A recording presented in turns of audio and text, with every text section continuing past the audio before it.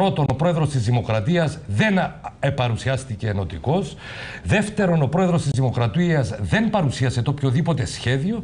Και τρίτο, δυστυχώς και με πίκρα το λέω, ο πρόεδρος της Δημοκρατίας προχώρησε και σε ένα πολιτικό κοτσομπολιό πρώτου μεγέθους. Μιλάτε για τον Υπουργό που βεβαίως, πήρε ανεργειακό. Βεβαίως, Γνωρίζετε ποιος είναι, κύριε Τουρνάκη. Όχι, δεν γνωρίζω ποιος είναι, αλλά γνωρίζω έγκαιρε πληροφορίες, οι οποίες δεν μπορούν να διαψευστούν από, από κανέναν, ότι ο πιο στενός συνεργάτης του Προέδρου της Δημοκρατίας, ο εξαπορήτων του Προέδρου της Δημοκρατίας, έχει λάβει δύο ανεργειακά επιδόματα. Και καλό τον πρόεδρο της Δημοκρατίας να ερευνήσει του λόγου του αληθές και αν είναι αλήθεια να τον πάυσει όπως ο ίδιος είπε.